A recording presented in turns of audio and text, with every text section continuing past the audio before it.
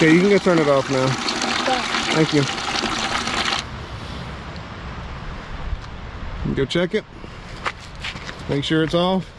Yeah, Okay. Do you want to go help make pig food? I do.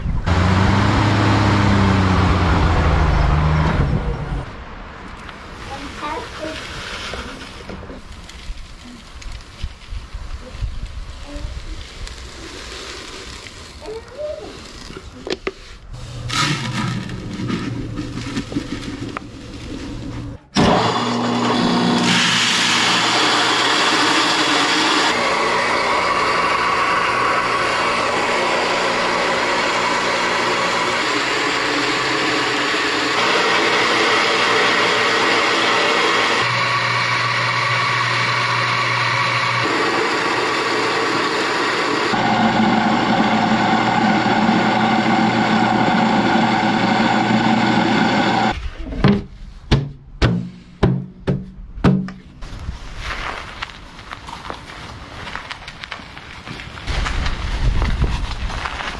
This pig feed recipe that we just mixed up is not my original recipe. There's a channel called Shrimp Tales on YouTube that I got this recipe from. It's 50 pounds of corn. He uses cracked corn. I've got the grinder, so I just kind of pulverize it into grits or meal, basically. And it's 50 pounds of corn, uh, 12 pounds of soybean meal, and one pound, 10 ounces of minerals. We just made a double batch, that's about 126 or so pounds of uh, hog feed. My candy day. Can you? Go ahead.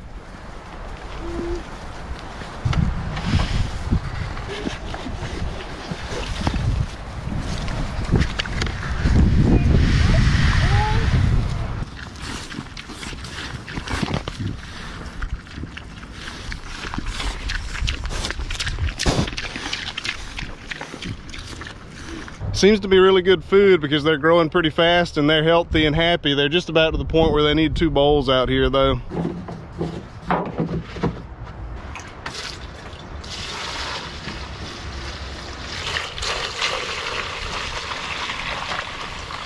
Enough of that. It's time to get to the whole point of this video.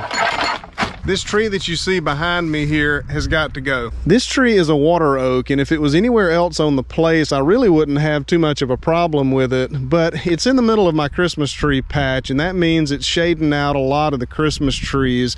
Besides that, it's got its fair share of issues. Several years ago, a storm knocked off one of the really, really large limbs on it, so it's got a pretty bad, nasty, open looking spot right here, and possibly even some heart rot. We're gonna open it up and see what it looks like. But this is gonna be a little bit tricky because there are a lot of Christmas trees up under this tree that I would rather not see destroyed. Now, naturally, there's gonna be some collateral damage here just because this tree is right over a lot of these Christmas trees. But my plan here is to just kind of start taking limbs down and get as many of the small limbs off as I possibly can before I cut the whole thing down. And that way I hope to avoid too much destruction on my Christmas trees. This is right next to a road, but we don't have any power lines to deal with. The tree's not tall enough that it might go into the road. The only trouble that we're gonna have is the Christmas trees and the winds blowing, but I think it's gonna be, these are famous last words, but I don't think it's gonna be that big of a deal.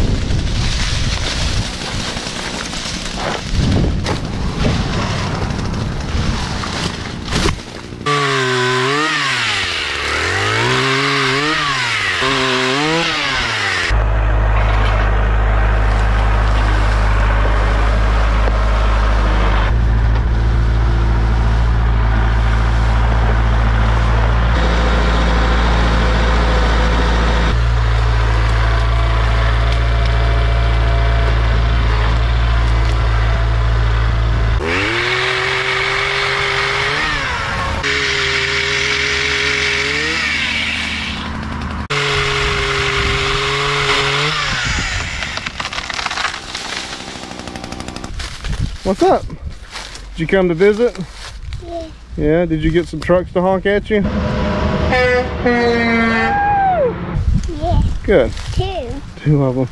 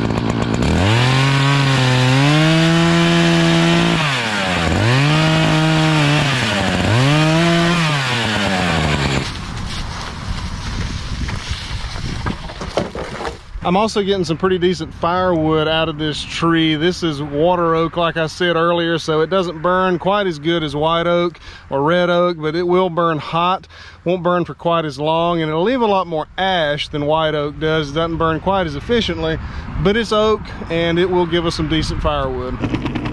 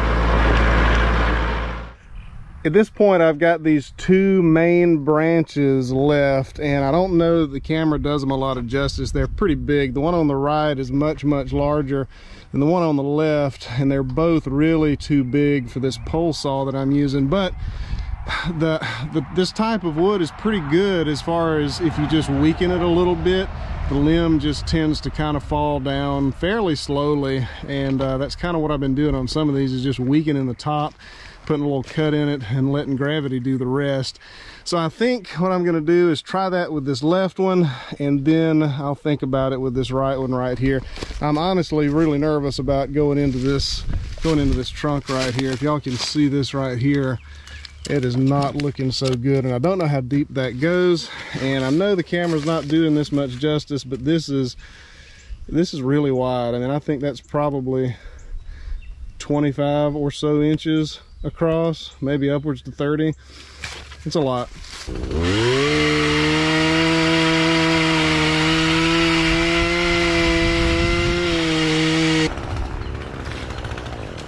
I stopped doing that because I realized I was setting myself up for failure. The bar was not nearly long enough to go through that limb. So all it was gonna do was cut out a little notch, weaken the limb. And when I went to cut the tree down, who knows where it was gonna go because I would have had no way to safely get the limb down before I cut the tree down and it would have not been great. So what I'm gonna go ahead and do now is the last thing I can do is that, and that's go ahead and cut this tree down. And I'm really nervous about what's in that trunk.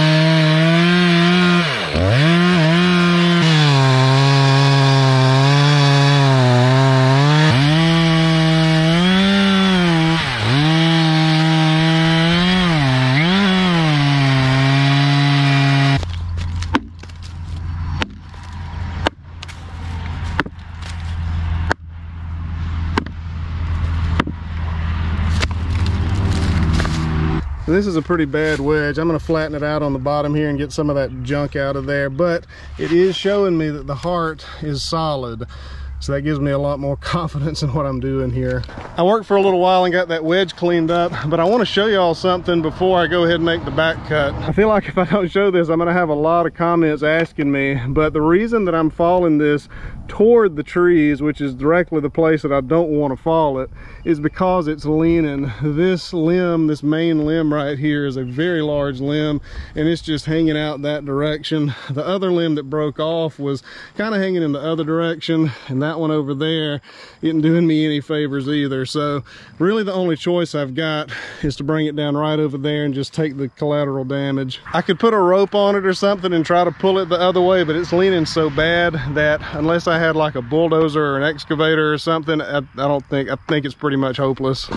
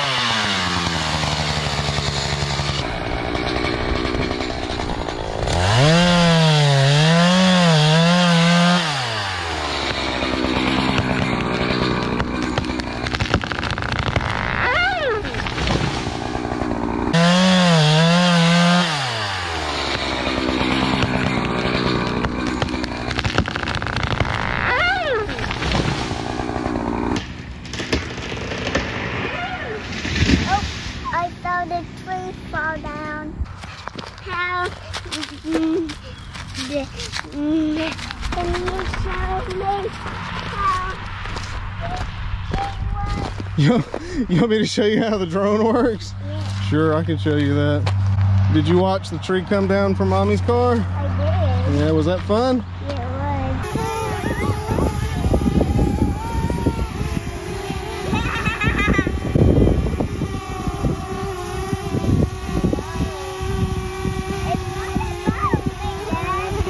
Might have gotten a little too aggressive on this wedge. That's pretty deep.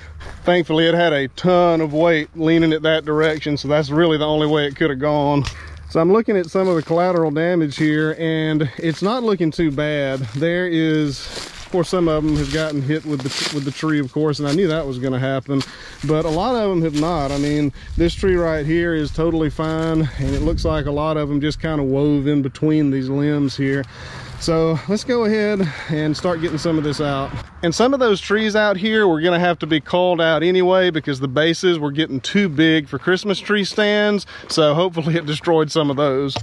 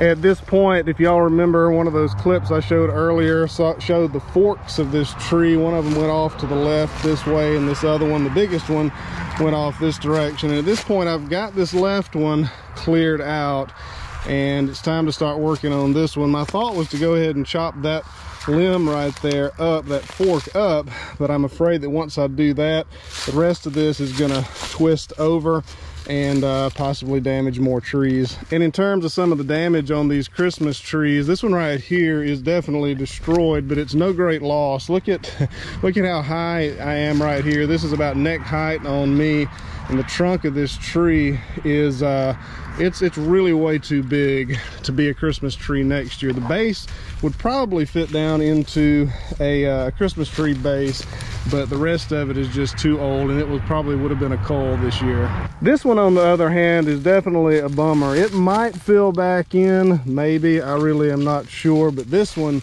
was a very nice sized tree. It had the potential with more sunlight now that that tree is gone to fill in into something pretty nice, but I'm not so sure it's gonna, not so sure it's gonna do that. In case anybody was wondering, this is the area where most folks purchase their trees from this last year where I've been stacking that, that firewood over there.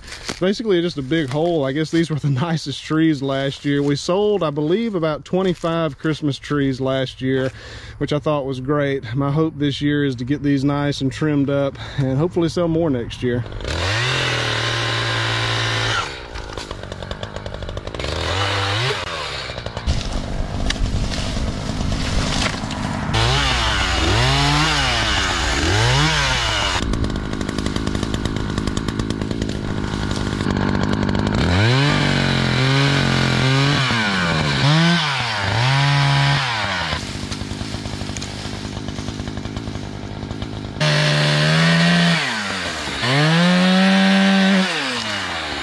I'm just about there. I wanted to show you all this tree right here. This is a decent tree. This one could very easily be ready to go this year, but look at how this tree landed around it.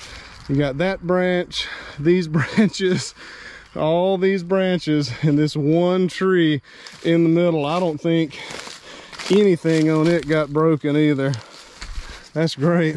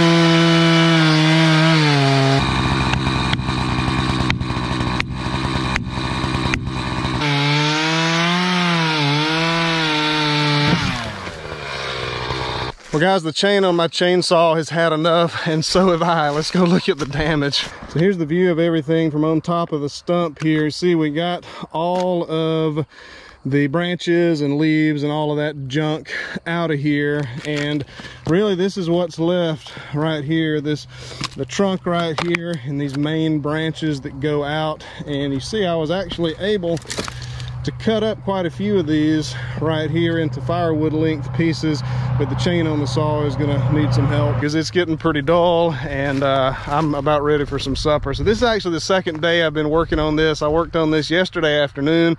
I've been working on it a few hours this afternoon as well. So six eight hours six seven hours somewhere along in there. Of course there is some damage to some of these trees. This tree is damaged pretty bad but it this one is fine. It was a cull anyway. Showed you this one earlier. That's a cull too. This one looks like it got knocked around a little bit, but it will probably be okay. That one is not a cull. And when I say cull, I mean trees that I was needing to get rid of this year anyway and plant new ones because they were just too big. This is a small one. This one was not going to be a cull, but it is now. I don't think this one is going to recover from the damage that it took. That one, of course, is destroyed. This one looks like it took a little bit of damage. It might be okay, though.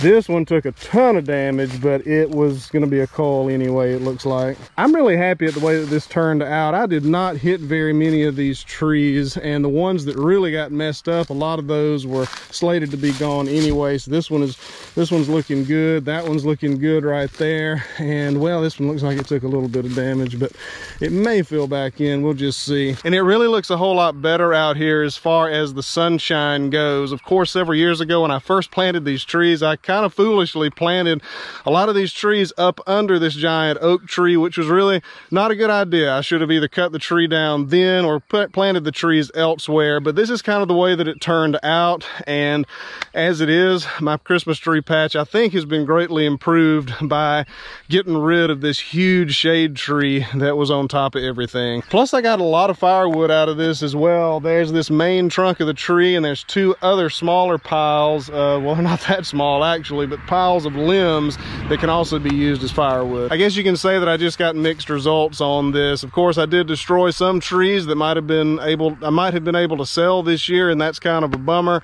But I opened up this canopy right here, got all this shade out of here, and I think this is gonna really improve things out here. Plus, I got a lot of firewood, so that's uh, that's gonna help us out a whole lot next winter as well. But that's gonna do it for this one. Uh, I really appreciate y'all watching. Stay tuned. I'm right next to a highway in case y'all hadn't noticed. I'm getting tons of road noise. And besides that, my good microphone bit the dust. I'm gonna have to send it off or something. So sorry about all the audio issues on this video. Uh, hopefully the barn build will be up in a few days here, maybe within the next week, week and a half. Going over tomorrow, possibly to finish it up. And I should be able to edit that together and have something posted. That's gonna be a really exciting project. So I will see y'all on the next one and thank y'all for watching.